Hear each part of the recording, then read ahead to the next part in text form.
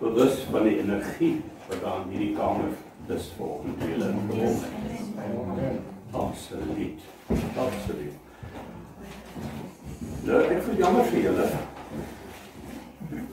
Karl het my ingespan om hier te kom praat, maar ek is nie 'n prediker nie.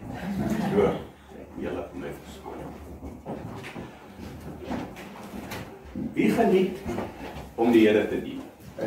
Amen. Wie geniet nie om die Here te dien? Pragtig. Nou. Soos ek gedink het aan hierdie diens vanoggend. Het ek myself die vraag afgevra. En hoe was ek dan? Dit laat my so dink aan mense wat ons geken het, hulle het so 'n klein bokkie hondjie gehad. En partykeer is hierdie hondjie waar hy nie meer wees nie. En dan die vrou van die huis gesê, "Bibi, ken jou plek?" En dan dadelik het die hond geweet. Hy is in die verkeerde plek.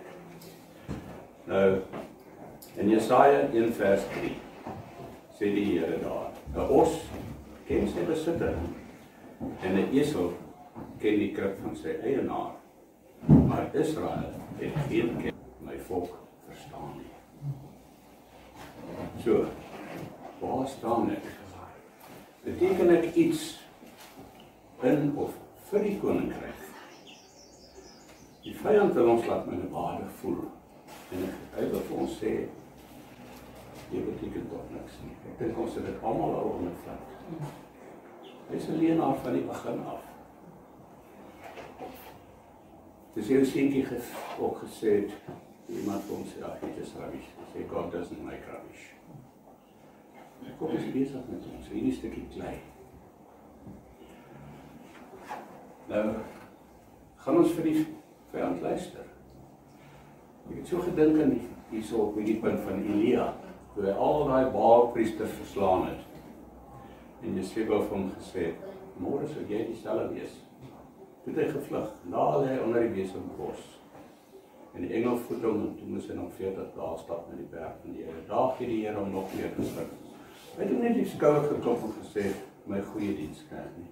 Hy het net nog meer werk. Hy moes konings en dan moes Elisa gaan skop. Maar daar sê die Here vir hom, ek het 7000 wat nog nie die knie voor jou waar dabei. Jy sal dink die profete in Israel sou weet van hierdie 7000, maar hy weet niks van hulle nie. So is daar die wat ongesien is van op die Here dien. Waarom meet ek myself? Jy weet Christene is so geneig om onsself aan ander Christene te meet. Ek wil wees soos Ben of soos Karl of soos Adrian of soos Fred. Dis nie die maatstaf nie. Wat is die maatstaf? Christus is ons maatstaf. So ons moet onsself nie gaan meet aan iemand anders nie. Ek is Andre, Ben is Ben, Karl is Karl. Verskillende stukkies klei. Maar die Here werk daarmee soos hy voel hy wil. Jy weet as net die mooiste voëls sou sing, sou die bos choopstil wees.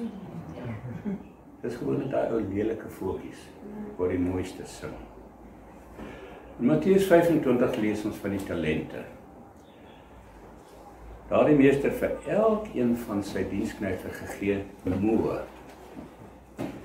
En hy daar was een wat net een talent gekry. Hierdie meester besef, hierdie ou kan nie veel doen nie. Maar hy het hom nou sy vermoë gegee. So ons het almal 'n talent gekry. En wat is ons talent? Ek het baie met daan gedink. Die talent wat ons gekry het, is ons geloof. Jy weet Petrus sê voeg by. Ons moet by die voeg die deugde en die kennis en goed. So ons moet groei. Ons het almal ten minste een talent en ons kan groei. Anders sou hy dit nie vir ons gegee het nie.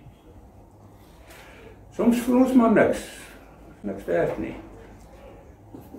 Maar ek het 'n bietjie gedink, kom ons kyk 'n bietjie na die niks werd goed wat God mee gewerk het. En ek dink julle kan baie baie dinge ook herroep waar God gewerk het. In 1 Konings 17 lees ons van daardie, daar was 'n hongersnood gewees en daar was 'n weduwee. En Elia het by daar gekom en het wag sê gemaak vir my koekie. Dis sê sy, "Wel, ek het net 'n handjie vol meel en 'n bietjie olie en ek maak hier 'n paar stokkies bymekaar en ek gaan vir my en my seun 'n koekie maak en dan gaan ons kyk." Ek sê maar gaan maak eers vir my. En ons weet daai meel en daai olie het nie opgehou nie. Haar gesin is gevoed. Daar was 'n ander weduwee. 2 Konings 4. Haar man het gesterf. Diep in die skuld. En sy het gekom na die profeet Elisa en sy het gesê: "Die skuldeiser is hier so, en hy wil my twee seuns vat." En Elisa vra vir wat het jy in die huis? Sy sê ek het niks. Behalwe 'n bietjie olie. Jy weet ons het almal huise. Kan jy gebeur jy het 'n huis en jy sê ek het niks. Ek het niks. Behalwe 'n bietjie olie. En het gesê gemaak potte bymekaar. En sy begin skink en sy daai potte vol gemaak. Dis sê sy vir sy bring nog. Nee, daar is nie nog. Al die potte is vol. By bure geleen en alles. Gaan Elise wat moet doen? Verkoop ons betaal jou skuld. Dit sê dit moet toe weer. Daai bietjie niks het God nie gewerk. Ons dink aan Naaman.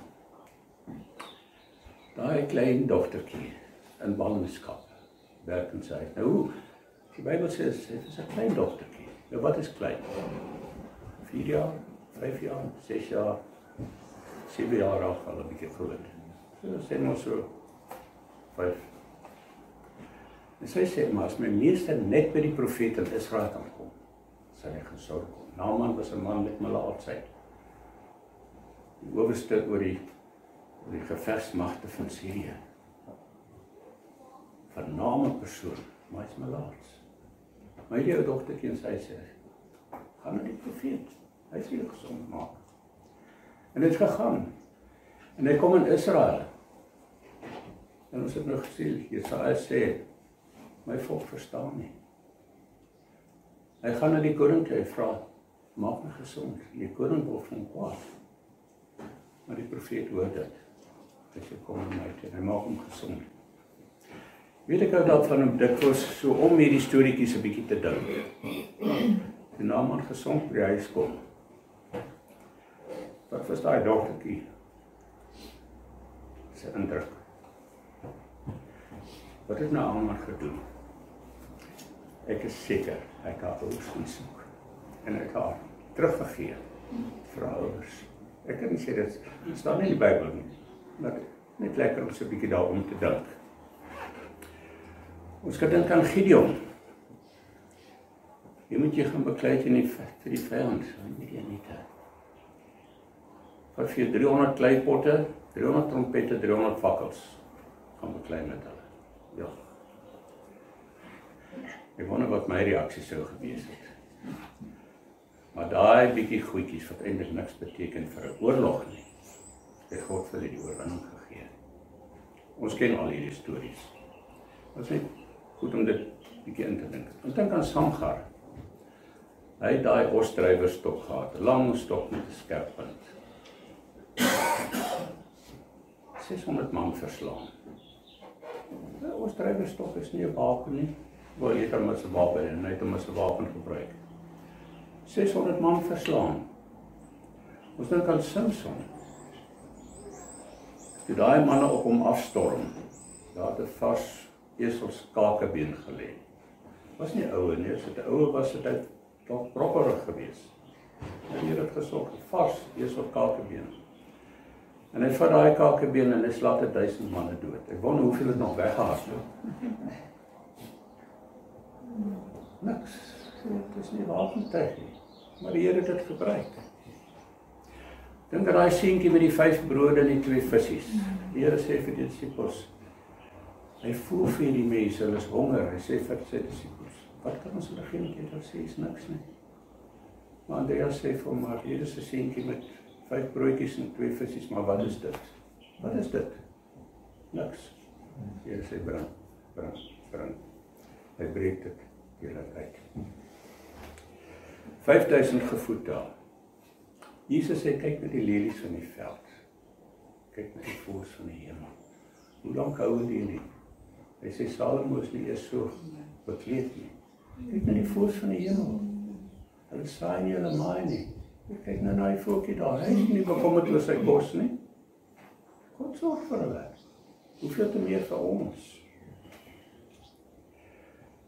Daar was die weduwee met die twee munte.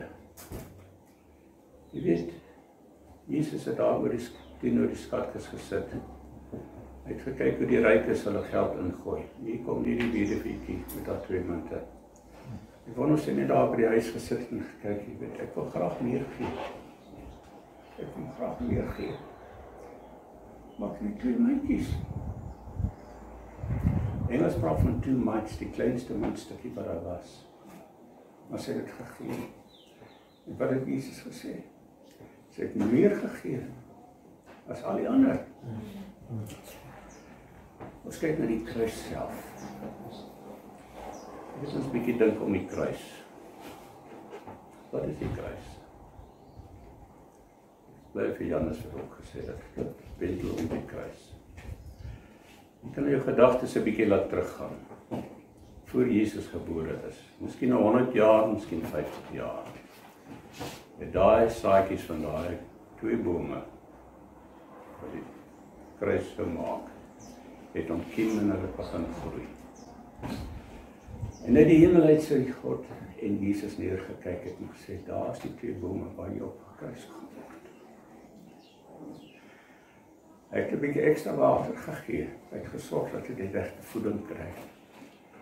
Weet en soos Jesus toe hy gebore is en later 3 en 'n half jaar wat hy daar gepredik het, gereis het deur Israel.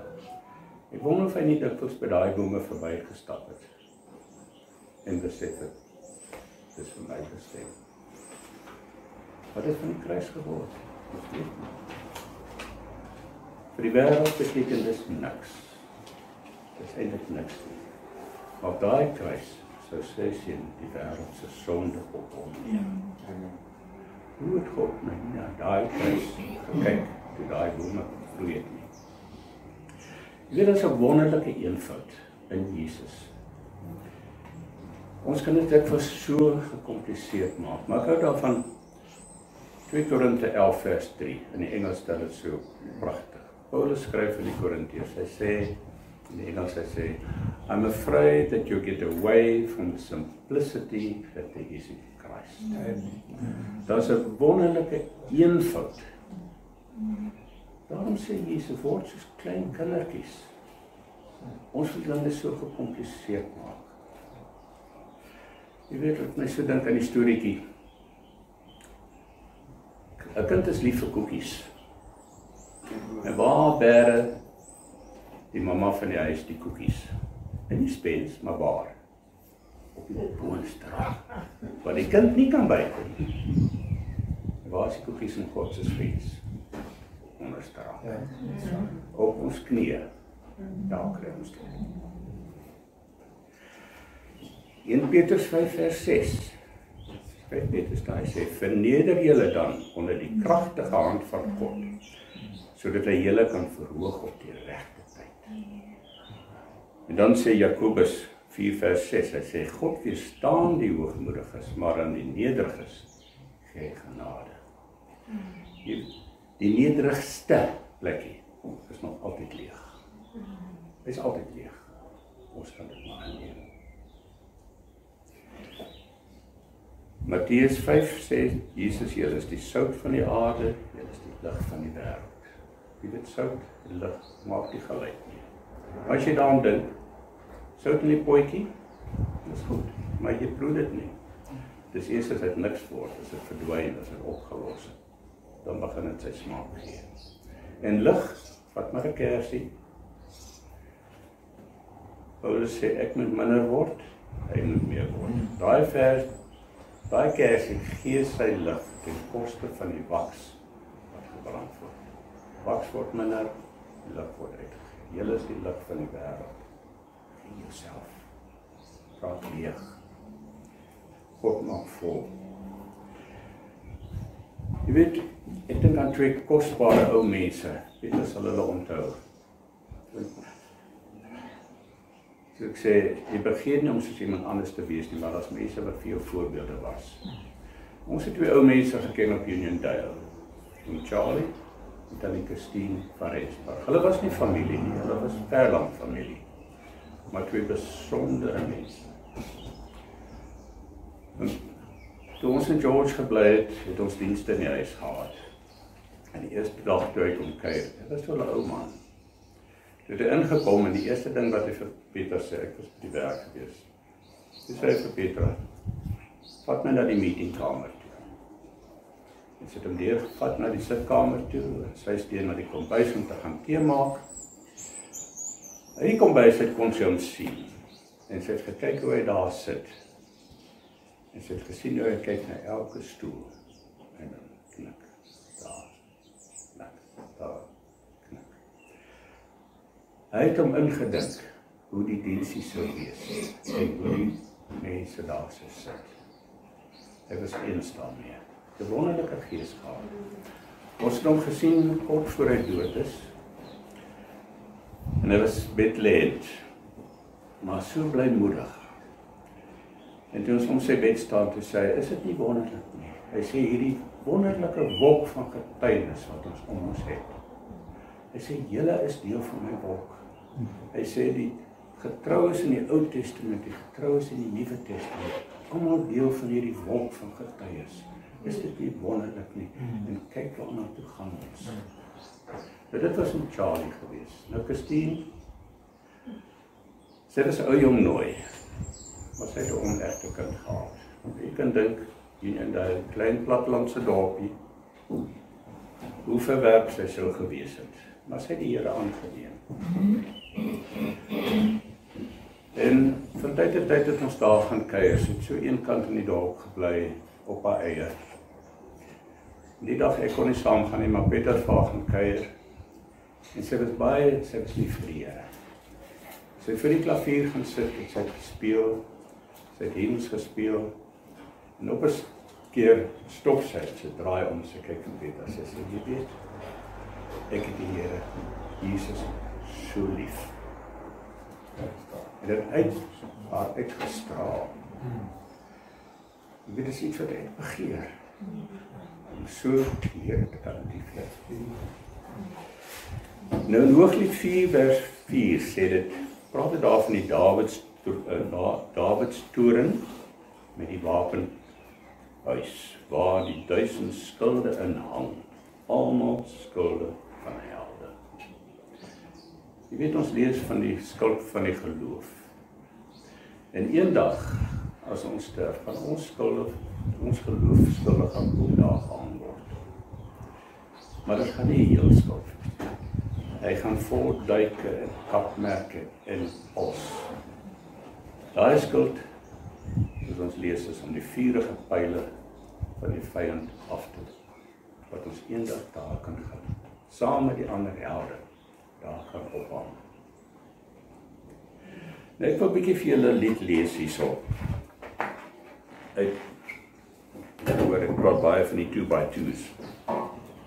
Dis 'n ek hulle 'n lied uit hulle boekie uit.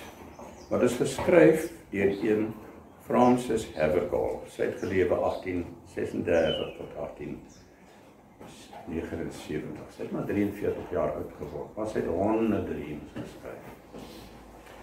Nou hierdie ene, ek lees hom in Engels vir julle.